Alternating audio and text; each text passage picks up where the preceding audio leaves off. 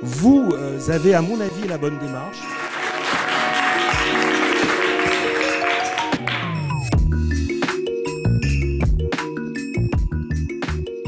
En gros, il y a deux étages à la fusée. Le premier, c'est ce pacte avec des mesures d'urgence, ce qui est faisable rapidement, euh, ce qui, euh, ce qui peut être mis en œuvre et signé par un spectre politique large, euh, qui est simple, compréhensible par un grand nombre de citoyens et qui est suffisamment sécurisé juridiquement pour dire, OK, on peut le mettre en place dans les 100 premiers jours du mandat. Euh, et puis, il y a ce deuxième étage de la fusée qui est tous les sujets plus structurants, tout ce qui va euh, concerner euh, l'équilibre des pouvoirs, la modification profonde de la Constitution, etc., etc. On veut le renvoyer aux citoyens en disant euh, on n'est pas forcément d'accord entre experts, d'une part, euh, et surtout, ça mérite un vrai débat public, ça mérite euh, un vrai processus de démocratie délibérative. Donc, on renvoie ça à une convention citoyenne qui peut être articulée avec un grand débat plus large, qui peut être articulée aussi avec du dialogue avec les parlementaires, avec le personnel politique, parce qu'évidemment, ils vont avoir leur mot à dire.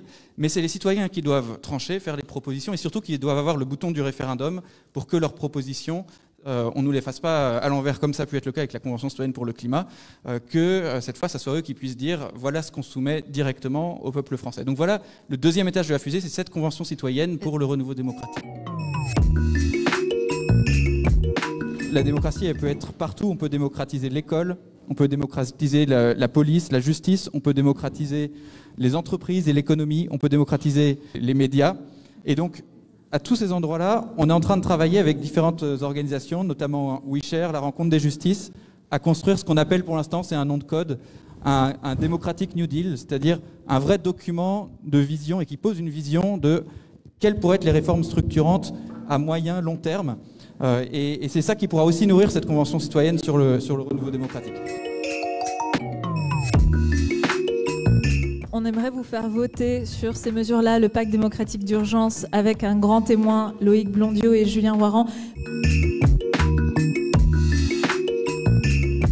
Un seul excellent sur, sur cette première mesure, former les jeunes aux pratiques démocratiques. Vous pouvez applaudir le résultat de vos votes.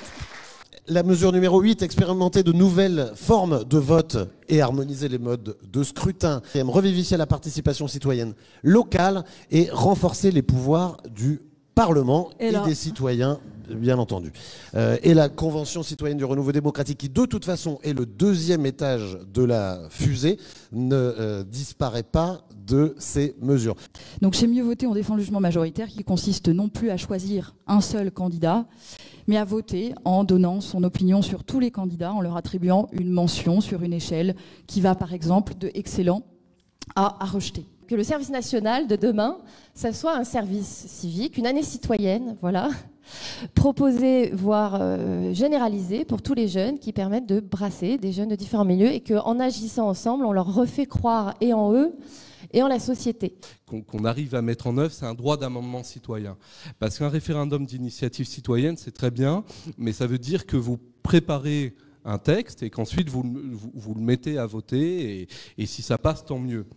Mais là où il faut que le peuple puisse intervenir aussi, c'est dans l'élaboration des lois au quotidien donc euh, pour une diffusion de la culture de la décision partagée, pour euh, une politique d'éducation à la démocratie, pour des territoires plus forts, pour un renouvellement profond de nos institutions. Euh, et aujourd'hui, il a été signé par un peu plus de 250 personnes, à la fois élus locaux, nationaux, chercheurs, responsables associatifs, citoyens. et le but de, cet atelier, ce que tu disais tout à l'heure, c'est déjà de faire parler de ces sujets. Euh, ce serait déjà bien qu'il soit dans, l'agenda, euh, dans les médias, dans les discussions. Euh, voilà, aujourd'hui, ce n'est pas vraiment encore le, cas. Est-ce qu'il n'aurait pas fallu imaginer un Brexit, un référendum sur le Brexit, qui soit un, référendum à répétition, c'est-à-dire qu'on vote deux fois, espacé de six mois, neuf mois, pour prendre un petit peu la mesure des, des conséquences d'un scrutin?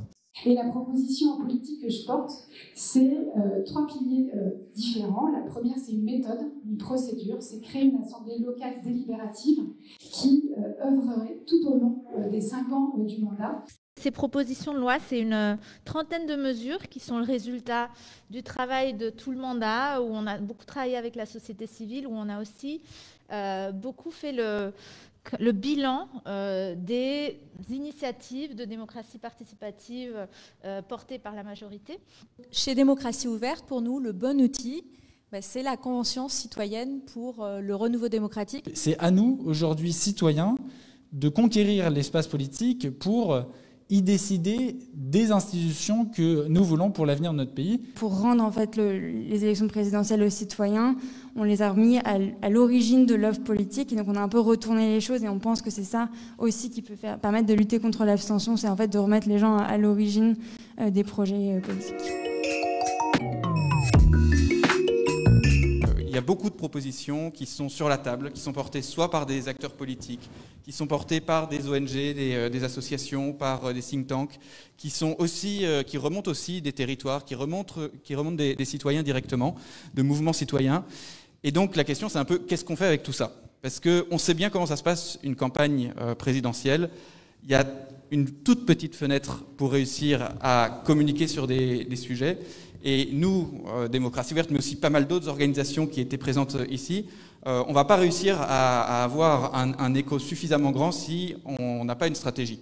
Donc la stratégie, on va vous la présenter. L'idée là, c'est de hacker les codes d'une campagne électorale.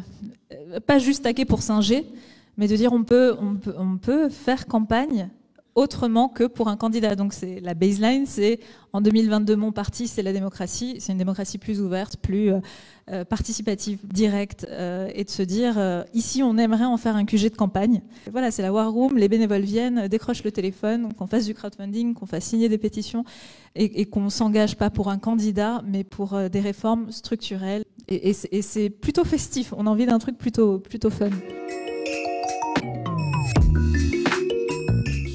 Climat, euh, dans le mouvement de la justice sociale, euh, dans les mouvements féministes, à plein d'endroits, euh, le, dénominateur commun, c'est cette question de la démocratie. C'est ce, ce, plafond de verre institutionnel sur lequel bute un très grand nombre d'organisations, d'associations, d'ONG. Et donc nous, le pari qu'on fait, c'est de faire en sorte que certains des éléments du plaidoyer qu'on va porter puissent se retrouver euh, dans le plaidoyer de ces, organisations, ou à minima qu'elles soutiennent euh, cette logique-là, parce qu'elles y ont toutes intérêt, elles sont toutes reliées par cette question de la démocratie. Et donc ça va être le, défi, on a commencé à le faire, on va continuer, de réussir à, créer ce lien entre euh, ce, mouvement social, ces ONG, ces syndicats, sur ce thème-là de la démocratie. Troisième axe, c'est comment on parle euh, à tous les Français et toutes les Françaises. Euh, mais l'idée, c'est que ces messages-là euh, montent, ou en tout cas soient audibles auprès, de, auprès des Français et des Françaises. Et donc, on va lancer, on a commencé à organiser avec là aussi des partenaires, des, assemblées populaires dans les territoires. Pour que ça monte des territoires, en fait, il faut être sur les territoires. Il y a plein d'acteurs géniaux qui sont dans les réseaux de démocratie verte, parmi les partenaires, euh, et qu'on et qu'on commence à, mobiliser pour lancer des assemblées populaires avec le collectif pour une convention citoyenne sur le renouveau démocratique, avec des collectifs locaux. On en a fait une première euh, à Annecy, qui était un peu notre pilote, euh, qu'on construit, qu'on mobilise, qu'on documente pour qu'elle puisse être ensuite répliquée dans, dans pas mal d'autres territoires. Et au-delà des assemblées populaires, des apéros de la démocratie ou des démocraties happy hour, euh, dont, euh, dont l'objet va être, euh, là, sur un temps moins long qu'une journée entière d'Assemblée populaire, de quand même parler de ces sujets de démocratie et de les faire monter et, et que la matière qui est produite à ces endroits-là vienne nourrir notre plaidoyer. On n'est pas naïf, on sait que euh, les candidats, ils ne prendront pas euh, des mesures démocratiques euh, radicales qui vont loin, qui, sont ambitieuses, s'il n'y a pas et cette pression populaire, mais aussi une pression médiatique. Donc, campagne média, évidemment sur les réseaux sociaux, mais on va essayer aussi dans la, dans la, presse, le mass média, de porter ce message, ce message de la démocratie et donc de faire en sorte que ça puisse pas ne pas être un sujet pour toutes les équipes de campagne que de se positionner sur ce sujet de la démocratie et que de, prendre euh, euh, nos mesures et de les signer. Il y a aussi le site, on vient de lancer aujourd'hui, enfin vraiment, la peinture est fraîche sur les murs. là où vous êtes assis. Très, très, très, très fraîche, oui. Ouais, ouais. On l'a fini tout à l'heure, c'est la landing page. Euh, pareil, enfin, pour l'instant hyper simple, ensuite il y aura un site de campagne, on va aller beaucoup plus loin. Euh, on remercie KMBD, ils sont là. Euh, Blonde Studio, enfin c'est aussi l'équipe qui va travailler avec nous sur euh, toute la stratégie web, l'engagement en ligne, les réseaux sociaux, et puis aussi l'image, la lumière, tout ça. Donc, donc merci aussi de la réactivité parce que tout ça a été hyper rapide.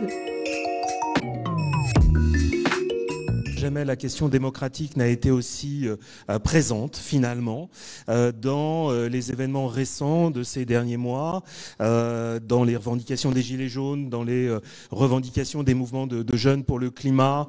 Le, niveau d'insatisfaction à l'égard de la démocratie a atteint des niveaux, vraiment des, sommets. Et, pourtant, elle est totalement absente de, ce début de campagne. elle a été complètement escamotée au profit d'autres. Et je ne peux que me réjouir euh, de ce que euh, euh, Décider ensemble et décider de faire du Décider ensemble. Démocratie ouverte, c'est la multi-appartenance. C'est les, deux et c'est magnifique.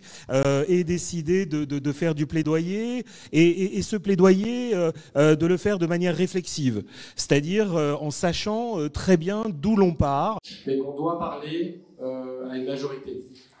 Et donc, essayons de garder ça à l'esprit, que ça nous anime en fait euh, tout au long là, de ce travail et de cette campagne, et qu'on fasse preuve de nuance aussi dans nos expressions, d'humilité, euh, parce que on avance beaucoup de choses, on a beaucoup évidemment de convictions, euh, mais on n'a pas de certitude. Et donc, il n'y a pas un outil qui va régler tous les problèmes aujourd'hui qu'elle fait face à la démocratie. La question, c'est plus de savoir est-ce que ce sujet intéresse les gens? En fait, ce qu'on n'a pas réussi à craquer ensemble, c'est quels sont les bons mots pour justement massifier et déplafonner. Franchement, on a tous les ingrédients pour faire du sujet de la réforme démocratique, du dialogue politique. Et j'utilise à dessein des termes larges parce que c'est vrai de toutes les formes d'organisation et aussi des entreprises. On a tous les ingrédients en main en ce moment pour faire avancer ce sujet euh, dans des conditions assez, euh, assez inégalées. Donc, euh, donc voilà, avançons ensemble, vite et bien. Donc allons-y. Rejoignez-nous dans, dans, notre capacité à mobiliser au-delà de nous. Vous avez, à mon avis, la bonne démarche. Euh, moi, je, je, suis ravi, moi qui ai toujours été un activiste de bibliothèque euh, ou, de, ou de fauteuil, euh, bah, je suis prêt à vous passer le témoin d'un certain point de vue. Et d'ailleurs, le fait que vous m'ayez mis grand témoin, euh, ça veut dire que j'ai déjà un pied dans la tombe. Hein, c'est souvent comme ça. Euh, donc, le, le, le, fossile vous dit allez-y, hein, c'est magnifique. Et euh, simplement, notez les obstacles, notez les résistances. Rappelez-vous que les, les droits démocratiques qui ont été obtenus euh, dans les périodes antérieures l'ont toujours été à l'issue de luttes euh, qui ont été souvent relativement violentes. Et il n'y aurait jamais eu de convention citoyenne, tout le monde le sait, s'il n'y avait pas eu les gilets jaunes. Il faut que les élus aient peur. Ça n'est jamais par amour de la démocratie euh, qu'ils transforment les institutions et qu'ils étendent la participation. C'est toujours parce qu'ils ne peuvent pas faire autrement. Donc voilà l'ampleur de la tâche et, voilà la, mission qui vous est confiée et, et bravo, quel courage, hein, c'est magnifique.